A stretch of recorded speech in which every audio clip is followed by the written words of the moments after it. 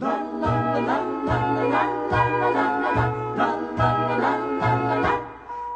a small wonder, lovely and bright and soft curves. She's a small wonder, a child unlike other girls. She's a miracle, and I grant you, she'll enchant you at first sight. She's a small wonder, and she'll make your heart take flight. La la la la la la la la la la la la. She's fantastic, made of plastic, microchips here and there. She's a small wonder, brings love and laughter everywhere.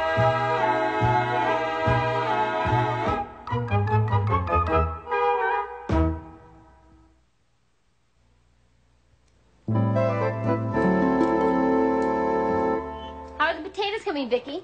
I'm almost finished peeling them. Square potatoes? They are geometrically perfect. That's nice. And they won't roll off your plate. Of course. Hi, Annie. Hi, honey. You won't believe what happened to me at the office today. What happened? I don't want to talk about it. I wonder what happened. He doesn't want to talk about it. Yeah, he'll feel better when he gets it off his chest.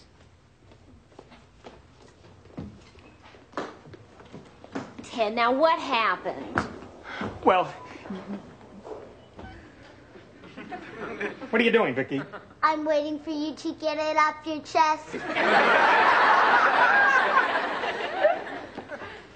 Tony, am I not an electronics genius? Sort of. Absolutely. Have I not deserved a promotion and a raise at the office? Yes, yes, a thousand times yes. And not to mention the authority that goes along with it? Oh, they'd be idiots not to recognize you for what you are. Thank you. They're idiots. You mean you didn't get any of the above? No. No, no, a thousand times no. Don't rub it in. Oh, Ted, that's too bad. That's the good part. Oh? What's the bad part? Brindle got the promotion. Brindle? Next door, Brandon Brindle? That's right. And the worst is, he, he, Yes. Yes? He's now my boss. Your boss? Oh, no. Your boss? Oh, no. Oh, yes. Yes. He got his new raise, his new office. Oh, well, look on the bright side. He still has his old wife. Mom, Dad, there's smoke coming out of the Brindle's house. You're kidding. No, I'm not.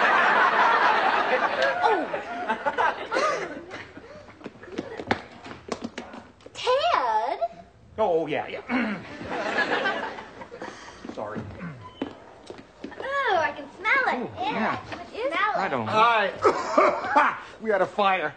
Yeah, Jamie told us. Fortunately, I was able to put it out, keeping a cool head. Under fire. Smell,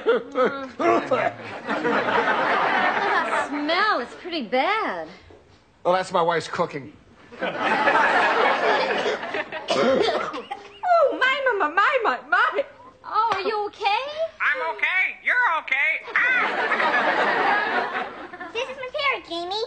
No kidding. I thought it was a canary in a Halloween costume. He's from Mexico.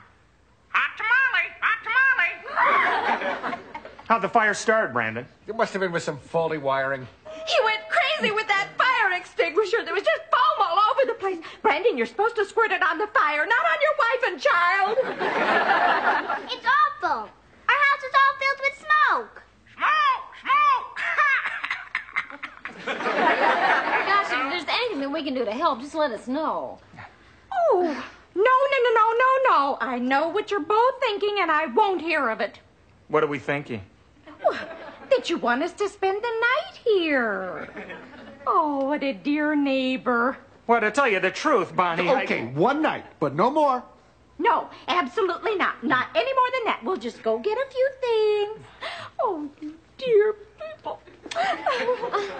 Now, Ted, I want to be treated as an ordinary guest. I don't want any special favors just because I'm now your boss and, and can fire you. Now look, Brandon. We'd love to have you as our guest.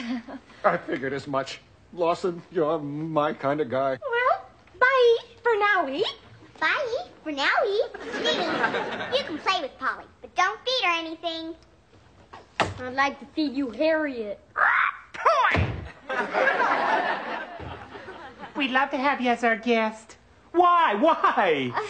Well, look at it this way. They're our neighbors and they're in trouble. Look at it this way. They're our neighbors and we're in trouble. Let's nail the door shut. Oh, Ted. If Harriet's sleeping over here, then I want to sleep over there. Now, that's enough, Jamie. Go get cleaned up for dinner. Oh, Cleaned up for dinner. Cleaned up for dinner. Come on. Honey, huh? huh? Square potatoes? Oh, so they won't roll off the plate. Of course. Honey, how could you do this to me? And what, what if Brindle finds out about Vicky? Well, she fooled him once and she can fool him again. What's more important is that he's just mean enough to get you fired if we turn them down. And it's just for one night. Yeah, you're right, as usual. I'd sure be lost without you, honey. And broke, I get a good lawyer. Why am I laughing? no, no, that couldn't be them. Not so soon. It's probably just a hungry dog who learned how to knock. Smoke in our house is even worse than before. They were all packed. Did you miss us? Oh, yes, what took you so long? So, where are we going to sleep? Let me show you. Where's my parrot? In Jamie's room, dear. If he's teaching Polly any bad words, I'll punch his lights out. Well, this, as you can tell, is the sofa. Oh, I don't know. Seems pretty to me. Brandon, why don't you try it? Whoa, it is lumpy. Feels like there's somebody in here already. Oh, I don't know. Convertible sofas are never firm enough for me. We can always make up the kitchen table. That's pretty firm. Well, I'm afraid the only other thing we have to offer you is a sleeping bag. Thanks, but I already have one. Brandon, he just puts me in stitches. and if he doesn't look out, I'm going to put him in stitches. now, about supper. We do not want to impose. No way are you going to be cooking for us. No, no, no, no, no, no, no, no. Oh, well, if you insist on going out. No, that's not what she means. Bonnie means after you cook for your family, then she'll cook for our family. Oh. Well, if that's all settled, uh, I forgot my bathrobe and slippers. I better go get him so I can be nice and comfy tonight. Yeah, you do that. Oh, would you see if you can find my chin strap? now, I'm just going to need a few things uh, pots and pans, uh, or maybe some food. I don't know why I am making this so complicated. It's not fair to rush you with your dinner so that I can cook. Thank you. Why don't you just cook for all of us? Now look, Bonnie. Oh, it's okay. I can manage. I think I'll just slip into a nice, relaxing bubble bath. I like to sink in right up to here and let the bubbles tickle my nose.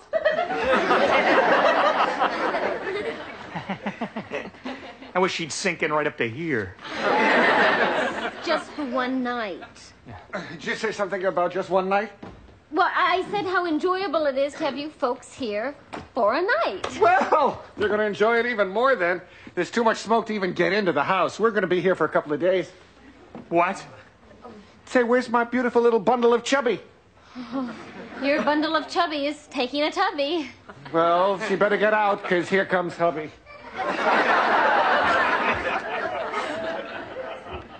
Well, you know, honey, I think I've really learned something from all of this. What's that? What they mean by justifiable homicide. The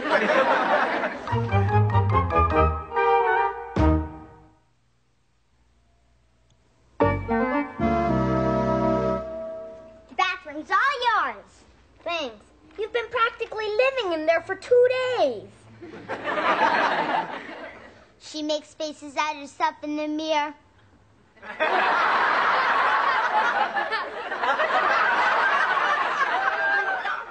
well, it takes time for a woman to look her best.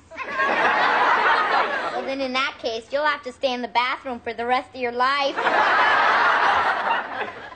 Don't be too sure, Buster. I've got everything any other woman ever had at my age. We just don't know how it's going to turn out yet. Turn out yet. Turn out yet. Rah! I'll say one thing for you, Harriet. You got a smart parrot. Yeah, he can remember anything and repeat it. Rah! I smell smoke. I smell smoke. See? That's what my father said when he discovered the fire. Don't just stand there, dummy. That's what my mother said. I can do that. Don't just stand there, dummy. How does she do that? Oh, I fed her some of your parrot food. Jamie, I wasn't born yesterday. I just look like I was.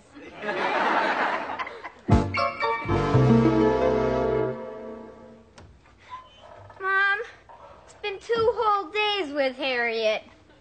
Have mercy. Two days. Seems more like two months. Even in my sleep, I keep hearing, no, no, no, no, no, no. Dad looks like he isn't getting any sleep. He walks around the house like a zombie saying, Why me? Why me? Poor father. Mr. Brindle got his newspaper again this morning. Morning. Honey, you look awful. But I feel great. What have you been doing? How's smelling? Mom, he's cracking. No, no, no, no. The Brindle house. I didn't smell smoke. Oh, Ted, that they can go home.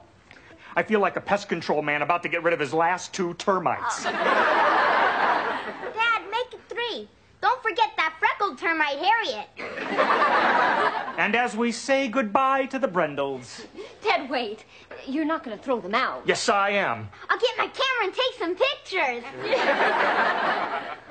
Oh, Ted, wait. Maybe we should reconsider. I think we're letting our emotions carry us away. Yeah, isn't it fun? Well, why do something foolish now? I mean, they'll undoubtedly leave anyway since the smoke's gone. So why jeopardize your job for nothing? You know, you gotta stop that. What? Making sense. all right, all right. I won't make any waves. Good. And Jamie, I'll go to your room and play with Harriet. Do I have to? Yes. Oh, all right. Can we play skydiver? What's that? Uh, I'll jump and throw her out the window. Forget it, fellas.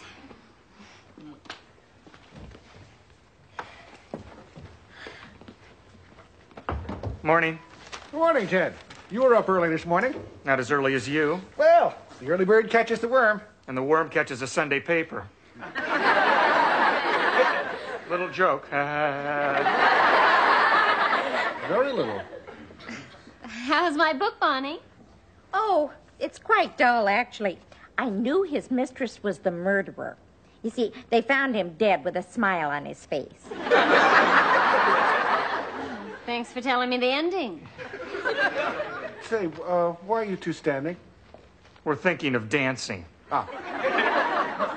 Well, but Bonnie looks so comfortable on the sofa, I didn't want to ask her to move. Oh, it's no trouble. You just sit yourself down here and I'll put my feet in your lap. Uh, listen, you two, I have really good news. I was just over at your house, and guess what? I think the smoke has cleared up. No kidding? Yeah? Good.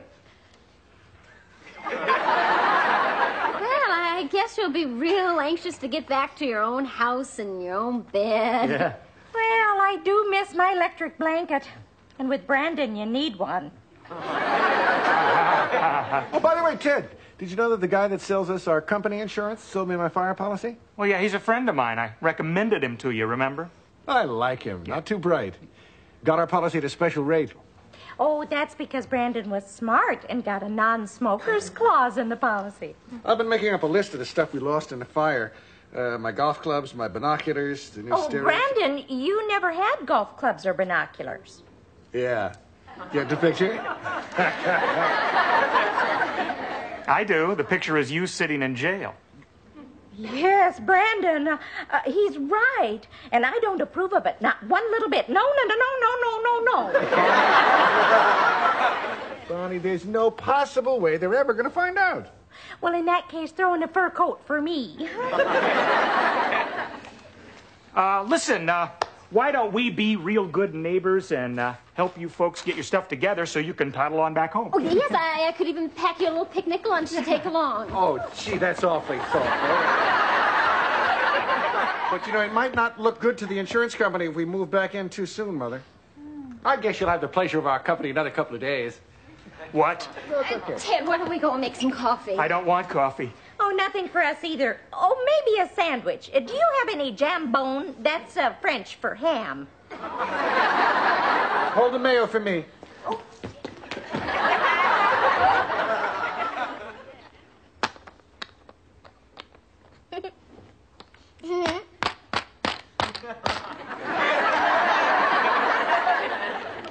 Don't you ever lose. I'm not programmed to lose. Are you that smart or am I that dumb? You're that dumb. You're that dumb. Butt out, Polly, or we're gonna have parrot for Thanksgiving. There! Fire! I smell smoke, Brandon. Is that all your parrot knows to talk about? He's just repeating what my mother said. Daddy started fire with cigar. Daddy started fire with cigar. Now he's repeating what I said.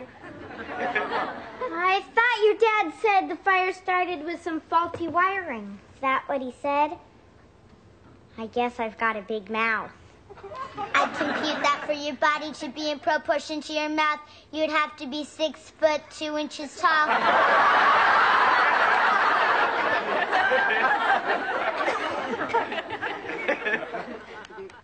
All right, I've had it. I don't care if it does cost me my job, and don't try to talk me out of it this time. The next sound you hear will be my foot against his seat. I won't change my mind. I was just going to say, put on your spiked golf shoes. Joni, that's pretty sadistic. I am so proud of you.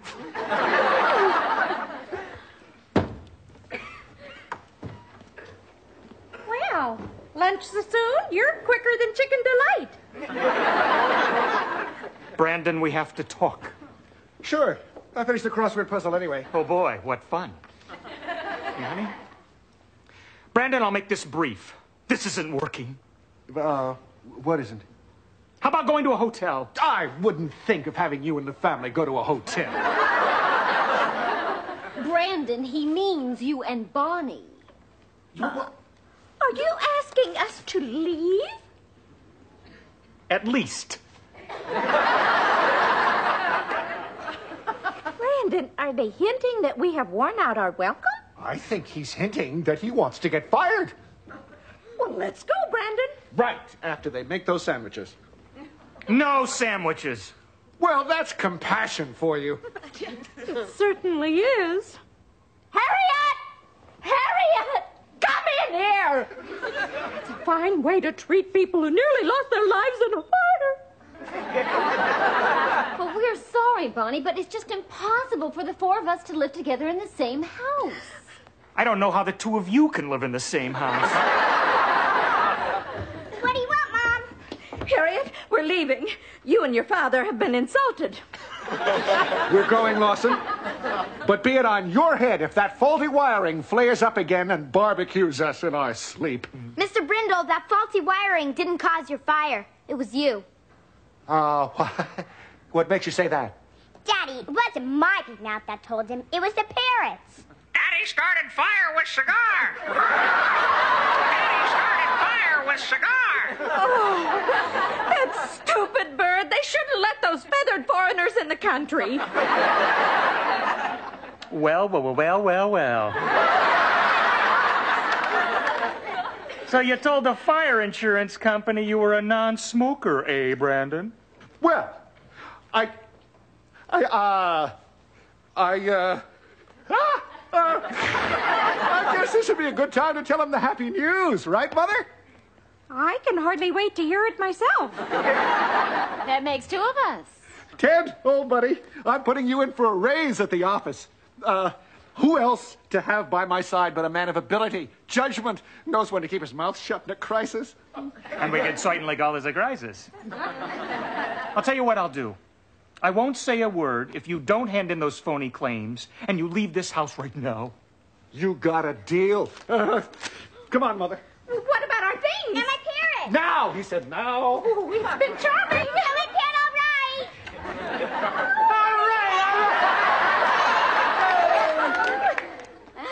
Boy, a little Harriet goes a long way. Her talking gave me a cauliflower ear. Now, if we can just keep the Brindles from coming back. Let's nail the door shut, old buddy. You know, it would serve them right if you did tell the insurance company about their phony claims. And I'm still tempted to. But you promised not to say a word. And I won't. I'll just dial and put the parrot on the phone.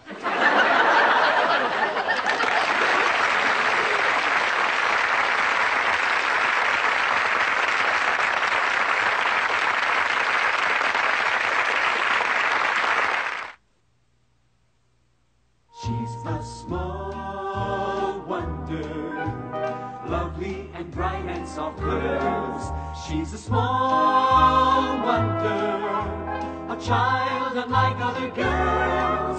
She's a miracle, and I grant you, she'll enchant you at first sight. She's a small wonder, brings love